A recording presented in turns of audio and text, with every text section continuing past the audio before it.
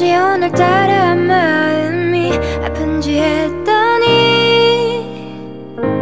오늘은 그대가 날 떠나가는 날이래요. 왜 항상 나는 이렇게 외로운 사랑을 하는지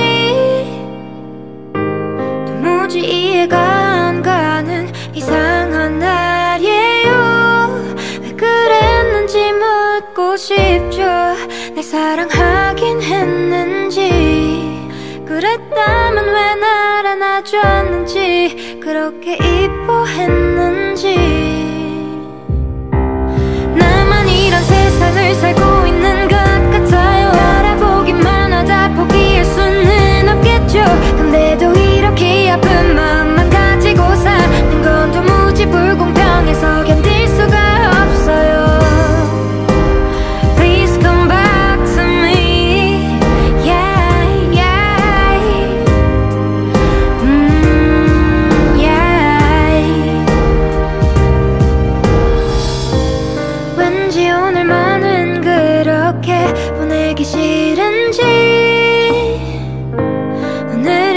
오늘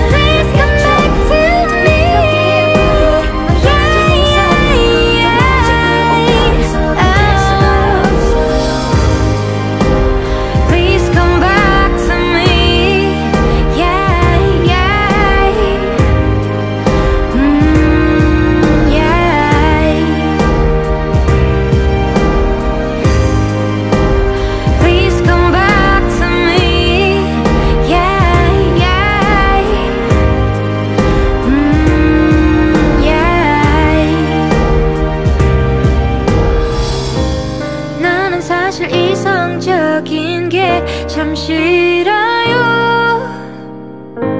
그래서 우린 헤어져야만 했으니까 아무렇지 않게 살아가도 매일 밤이 고통스럽겠죠. 그때가 정이 많은 사람이었다면 날 안아주진 않았어